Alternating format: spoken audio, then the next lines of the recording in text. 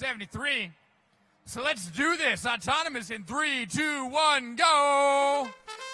Our four robots are off. In match 73, the Red Alliance is Rush Hour from Ridgeland, Mississippi, and the Resistance from Santa Clara.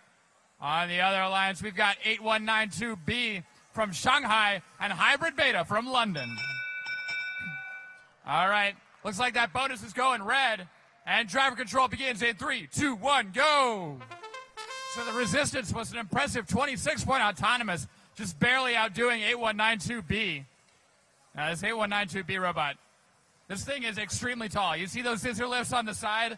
Those stretch up to be about as tall as me, which is maybe six feet. So they can get some maximum maximum stackage over there on that robot. But 7536B, not to be outdone for the Red Alliance. Wow, rush hour with their floppy little Rocket League esque antenna on the back of that robot is scoring up a storm for the Red Alliance. They're moving over to that 10 point zone. And so's the Resistance. I see two massive stacks for red. One just scored by Rush Hour, one being built by the Resistance as we speak. They're still going. That must be at least a dozen high. It's impressive to do that off of only field cones. Here comes 8192B claiming the high stack goal on that on that blue stationary goal, but oh man, the resistance going to steal it away immediately. One, two, three, four cones, five cones. It's a tall goal battle. 8192B. They tried to take it. Oh no! Joe 785 just undoes all that work. Oh, such unfortunate timing.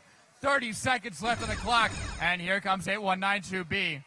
That's already a mighty stack. That's about nine high. We're going to see how tall they can get that.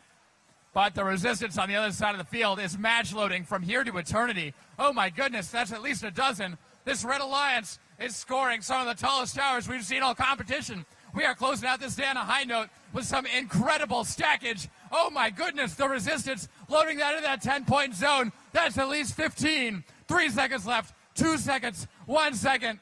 Time.